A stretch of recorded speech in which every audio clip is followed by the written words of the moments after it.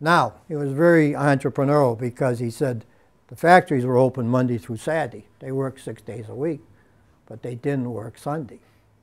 So they didn't get much use of the trolleys on Sunday.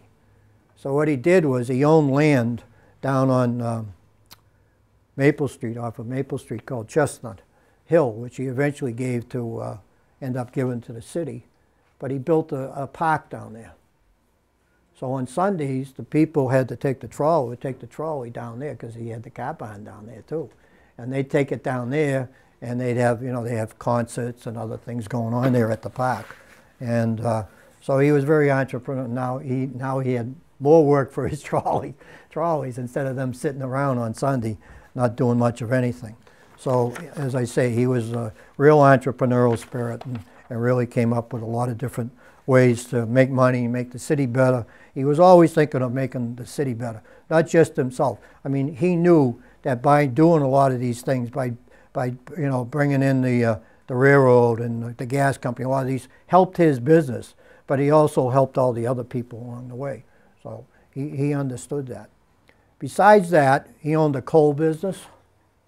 He owned a machine shop, a rather large machine shop. He was the largest holder of real estate in town. He uh, built, sold, leased houses, sold land, took back mortgages.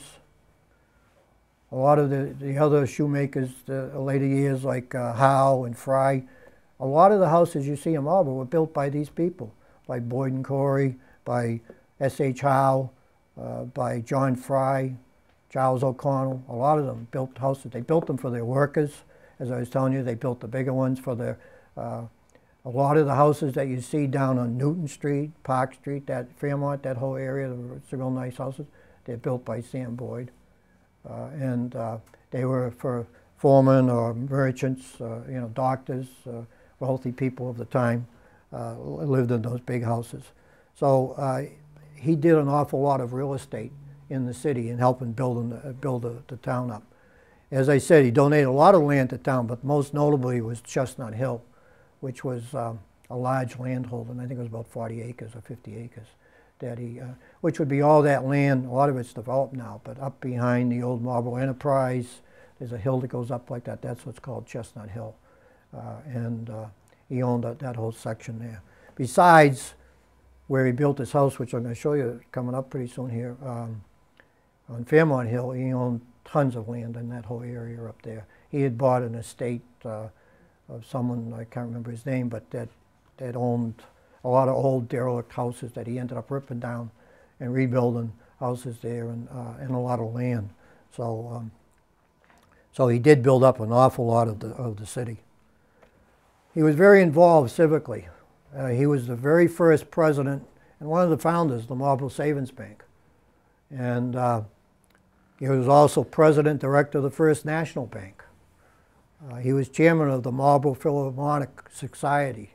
He loved music. And uh, that's how he got to know that F.W. Riley. I was talking, telling you about that, bought the old skating rink off of him and turned it into a theater. Hated politics. Absolutely hated politics, but got talked into running for selectman and he, after one term he says, I've had enough, that's it. so he was a one-term selectman. Uh, same thing with the Massachusetts General Court. They kept after him and after him and after him, and he finally said, okay. And he only served one term there, too. But he just was, he says, I can better serve my community other places than in politics, you know. And, uh, but he was civically involved. He was very charitable. He gave the, the land and construction of the French Protestant Church. Now, a lot of you might say, what? Where is that? Where the heck is that? There it is right there. We know it today as the Italian church, which is closed up on Lincoln Street. But that was there before the Italian church. He gave them $1,000 to buy the land there, and then he gave them $600 towards building the structure. It doesn't sound like a lot of money, but you got to remember back then it was a lot of money. So he also gave $400 for the land for the Holy Trinity Church. Does anybody know where that? I know Susan does. You, I don't want you answering, Susan. Where the Dunkin' Donuts is Yeah, Judy knows. It's where the Dunkin' Donuts is today. This was what was where Dunkin' Donuts is today. That church there, all covered in ivy. It was a beautiful church. That's a postcard right here, but I remember this. I used to walk home by this, and Judy probably did too, on our way home from school, and it was such a beautiful church. It was, it's uh, Walter. I'm sure you remember it too, walking by that. It was gorgeous, and uh, so this is where Dunkin' Donuts is today. This is where uh, Conley's law office is over here. The old KSC building would be right there. But he, he bought the land for them to build that. Um, he also, we used to have a YMCA in Marlboro, believe it or not, back then in the 1800s, Young Men's Christian Association. Uh, and he was very religious, which you'll find out later on here. But uh, so he donated money to them over the over the various years. Same thing with his church. As a member of the First Church, he was a very generous financial supporter. He gave money to every Marlboro Civil War soldier that had a family. He'd be down there and they were getting ready to leave, and he put money in each one of them's hands. Every one of them that was going off to fight, so that they, their family would have money while they were away fighting. He gave money, and that there was. Let me tell you, Paul, how many people fought from Marlboro in the Civil War? Quite a few, hundreds of them. Hundreds of them fought in the Civil War. So uh, there was quite a few. His pastor, pastor stated, after he passed away, that he gave more than anyone knew. In uh, the memorial service they had for him afterwards, uh, they told a story of this stranger that came to town. There was a businessman, sort of, but he moved to town. He knew no one. No one knew him, but he had, wanted to start a business, and he went to Sam Boyd. And he said, I know you don't know me, but I got this idea, I want to do this. And Sam Boyd lent him the money to get going. And he became very successful because of that. So he was like that, you know. He, he, he, if he could find, see someone that was a young man with a good idea, and because that's the way, when he started business, he had no money. He had his hands, he had the trade he learned, and that was it. But they, they had no money. They were fortunate they had their parents' house to work out of, but that was it. And the idea of, of making it mass-produced shoes. So uh, he had that. Joan found a uh, picture of an 1890 dollar bill. By the way, 92. 92, I'm sorry. Joan Abshire, one of our members here, has helped me put together the PowerPoint presentation. And a lot of this comes from her. I, I want to make sure she gets a lot of credit for that because it was been a lot of work, especially putting up with me. That's for sure. So. Uh, this is the first church where he was a member, uh, which is right at the top of uh, Bolton Street above the Commons. A lot different than today because this came down in the hurricane of 1938 and it's more like right here now, you know. So it's a big difference. But for some of you that didn't know, taking a look at it, uh, you might say, where the heck was that? But that's the first church. Um, personal. He was married in 1845 to his first wife, Anne F. Brigham. Anne died in 1881. Uh, he went on to marry his second wife, Mary Lizzie Lawrence of Shrewsbury, shortly thereafter. Back then, it was not uncommon to marry within three months, six months, or whatever. Sometimes it was not uncommon to marry your sister-in-law or someone like that. So he, uh, you know, it was shortly thereafter. They they, all they said in the history stuff is shortly thereafter. She died before he died in 1889. Four daughters were listed in his obituary. Uh, Mrs. Samuel Dowland of Somerville, Mrs. Henry Aldrich of Boston, and he had two that they never had, they ended up never marrying, Florence and Lydia, of Marlborough. He lived in a stately Italianate mansion on Fairmont Hill, on the crest of Fairmont Hill. This is the crest of Fairmont Hill. This is the summit, the top right here. This is Fairmont Street coming up like that. Newton Street's down here. This is the Liberty Street over here, or Rheingold here. He had a 20 acre parcel, and that was his house and barn right there. And this is what it looked like, right there. It was a magnificent mansion where he held balls and social events all the time. And uh, you know, it's one of the biggest sins we have in Marlboro. Thomas Corey's mansion's another one. and a lot of others that are long gone.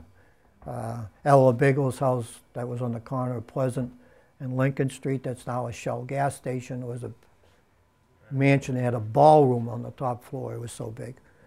But I'll be prepared for this next picture because this is what it looked like in 1973.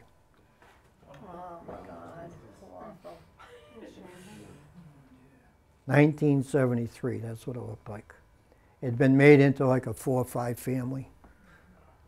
And uh, there were, you can see it's so dilapidated, it's unbelievable. Here's some other interior pictures uh, of it.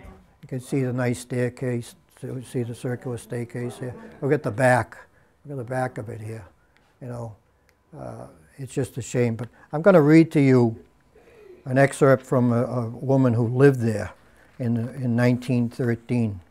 It won't take that long, but she describes the house, the interior of the house. It's quite interesting. Uh, she lived there on and off for 30 years. The lower part of the house was red-faced brick and the top white with a metal roof. A circular tar driveway to the mansion had a border of tall pine trees, and in the center of the lawn, a huge silver maple tree with five limbs and a circle at the base. With a board between the limbs, it made a fine place to sit and read on a sunny summer day, as I often did. An iron hitching post and eight granite steps led to the entrance porch with square pillars. Um, when I go back to the,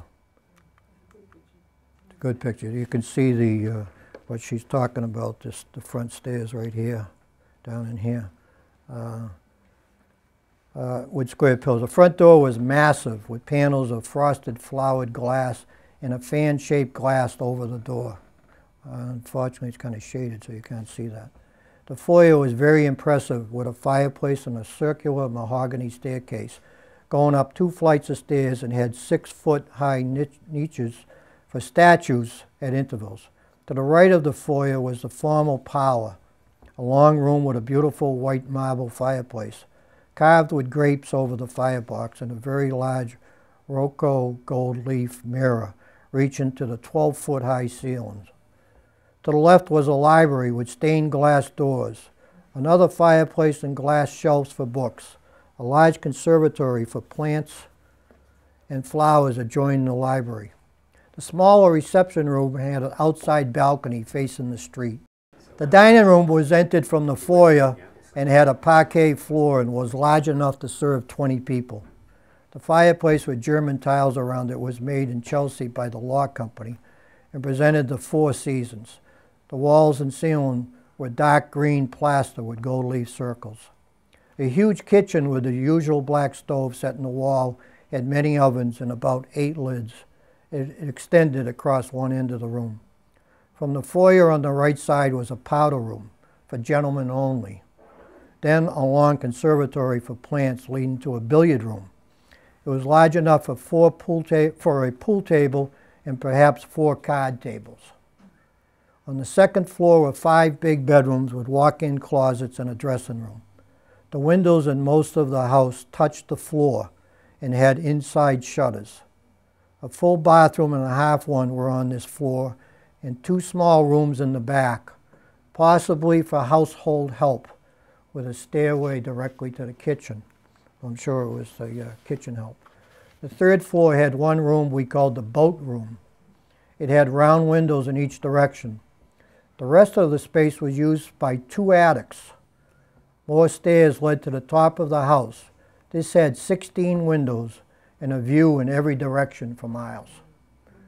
Now, back then, you could see this house for miles, miles and miles around, because not like today, everything built up and so forth, but you could see this house uh, from all, all angles.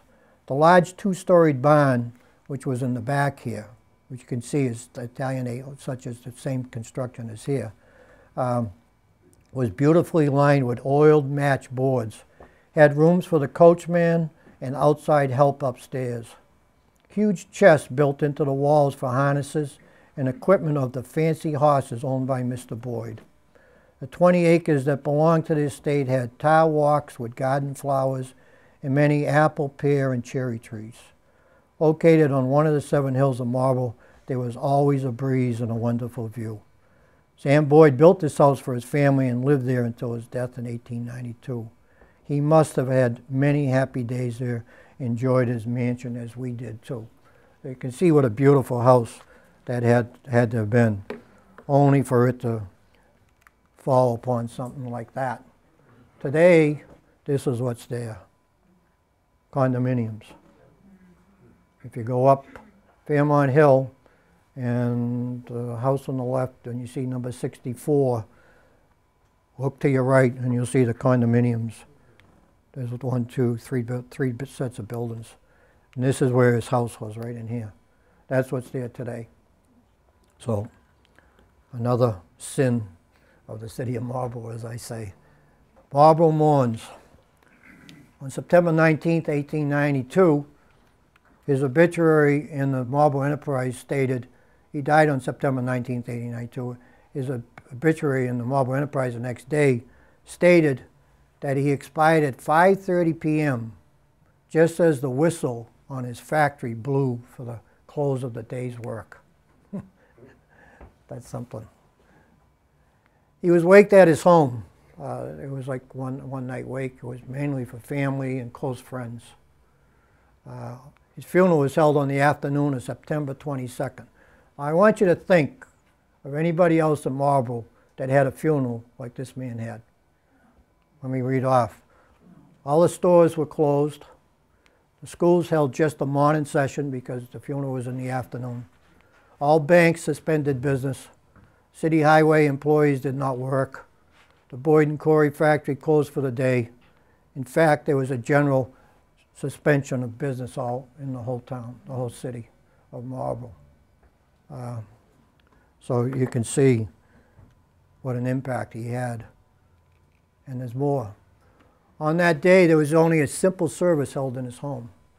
They felt that there would be too many people that would want to attend, so they said, we'll hold a memorial service later on. So they just had a simple service. And at the close of the service, approximately 200 workmen from his factory and the street railway marched two abreast into the home to view uh, Mr. Boyd's body, followed by about 75 ladies from the factory to take a farewell look too. Some of the pallbearers that day was the mayor of the city at the time, George A. Howe, city treasurer C.F. Holyoke, the head cashier at the Marlboro Savings Bank, E.R. Alley, uh, and the head cashier of the First National Bank, F.L. Claflin. Alley had worked, both these men had worked for, for Mr. Boyd at one time. Uh, I believe Mr. Holyoke did too. A lot of people worked for Boyd and Corey, so they're all, all, all together. The employees in a long line of carriages followed the remains to Chipman Cemetery on Stevens Street. I'll show you where that is in a, in a few minutes here, but it was estimated that, uh, uh, let me get to that after. Um, I didn't put it in here, but the streets from Main and Florence Street, Main and uh, Fairmont Street, all the ways down Main to East Main, all the ways up East Main and up Stevens, was lined, lined with people, lined with people uh, following the procession. They had the, um, of course, back then there was no John Rowe, you know, and an auto, automotive hearse and everything. It was a glass enclosed hearse with the horses drawn, and all the other carriages with the family and everybody followed. All the employees that these ones I talked about here were following behind, and uh, and then they walked by, and all the school children were out, and everybody was out because everything was closed, and they all came down to to bid their say their final farewell. Uh, it was estimated that at the gravesite at the uh, Chipman Cemetery on, on Stevens Street, which is next to Rocklawn Cemetery. Rocklawn's the newer part of it. Chipman, uh, I see someone right here that I know his parents are, uh, are buried in Rocklawn. And uh, a matter of fact, I met him there one day. And uh, this is his uh, gravesite, right? This whole thing right here is uh, where his gravesite. So 1,000 people. You've got to remember too, there was not much probably around there at the time, but 1,000 people circled around the gravesite to bid him farewell and give you a, a closer view of. This is his uh, Samuel Boyd and his two wives right here, and out front here, his children and um, the two uh, daughters that married their husbands uh, and their children are, are out here too, along here. That alley I was talking about, he's buried behind him, back here, and um, a lot of uh, Marlboro's uh, Sylvester Buckland, who's the father of the Marlboro Fire Department, is buried right up here. Mott Stevens, who was a movie actor, uh, TV, television actor, is buried in this cemetery here. So a lot of old gravestone, graves down there. Yeah. So uh, he was, uh, you can see how well liked Mr. Boyd was. Everybody in the city loved Sam Boyd and what he did for them and everybody. He was very generous, as you could see. He did so much for them. It was unbelievable. Uh, the uh, a memorial service was then held on October 9th at the First Church, and it was done, given by his pastor, a Reverend Burke Levite, and it was, he did a discourse and memorial of Sam Boyd. I'm not going to read it for you because it's about 30 some odd pages. a lot, a lot, a lot of what I've told you already was in this discourse. It told about his life, but it dug more into his life, about his home life and what a family man he was, how he loved. His home was open to everybody. He could be doing business with you, and it wasn't maybe very good business, but he'd invite you into his home, and the minute you came into his home, it was like you were best friends. And he would get, you know, give you whatever he had. And uh, so his, he was a real religious man. Um, he was uh, involved with uh, religious instruction at his church and a lot of other things. And these are all different personal points that he that's brought out at the uh, at this memorial service and this discourse, this 30 some odd page discourse that the, his uh, his pastor gave to him, which was they had a packed church again and overflowing people out onto the street and everything. They couldn't fit everybody in there. Everybody wanted to be part of it and be there. So, for over a half a century, 56 years to be exact, Samuel Boyd stayed at home and did his life work, building up his native place, Marlborough, just as he said he would when he started out in 1836. For this reason, he truly can be characterized as the father of our city. I hope you agree with me after hearing my presentation. I'd like to open it up if anybody has any questions. Hopefully I have the answers. Paul? I got two questions, uh, Bob. Uh, I- I'm just curious, the, uh, the wavy hair, the high forehead, the faraway look, the short stature, is there any chance that you're uh, descended from? Very good. Look, the same, same grimace.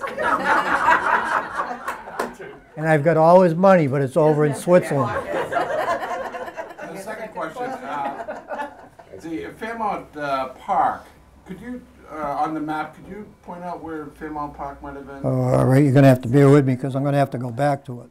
Fairmont Park would have been up in here, right up here. They had a big bandstand up here that they would hold things. the- They do fireworks there. Right at the top of The it? top, yep, yep. Is it where all those large rocks are? There's some huge rocks. Oh, I don't know, I have, there's, there's, there's houses up here now. See right here, see where his house was? This Onamog Street, which is down here.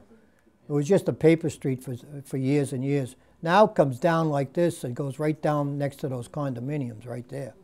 And there's all houses up in here now. That's why we can't have fireworks from Fairmont Hill anymore, because they built houses up there. You know, so that's why we can't have fireworks there.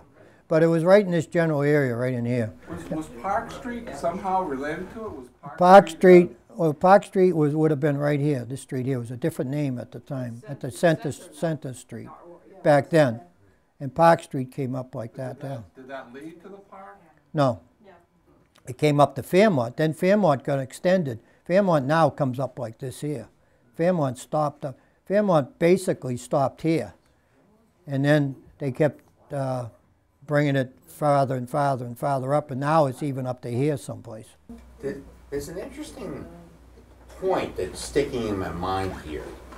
Henry Ford has long been regarded as the founder of, you know, assembly line and all the things that we know as modern manufacturing.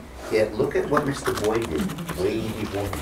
Yep. That's kind of revealing about what he was about and what our, our city was influential in, in terms of the entire industrial revolution.